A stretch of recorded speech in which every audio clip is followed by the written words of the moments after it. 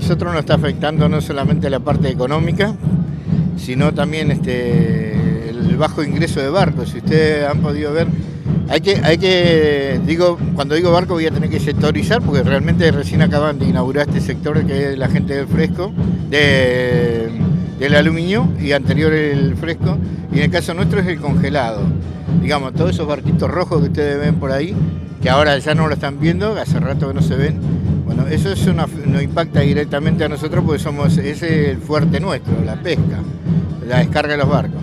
Y como si poco fuera, nosotros teníamos operando acá un barco que se llama, que es Verdel, el Verdel, que viene y descarga alrededor de unas 1.100 toneladas y ese están haciendo gestiones ya, creo, para llevárselo a, descargar a Puerto Deseado. Más dos barcos que son típicos de Madrid, son más, pero dos que andan rondando entre las 400 y 600 toneladas, eh, que son los, de Iberconza.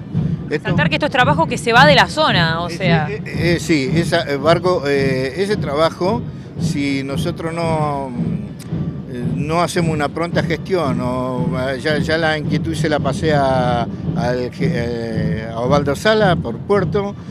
Nuestro trabajo es muy local, eh, todo lo que ingresa a la institución después se distribuye en los socios y nuestros socios a través al comercio local o a lo que sea. Todo, no sale nada que fuera acá.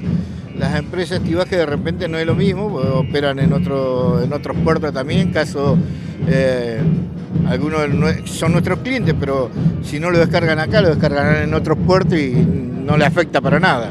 Pero a nosotros sí nos afecta y mucho.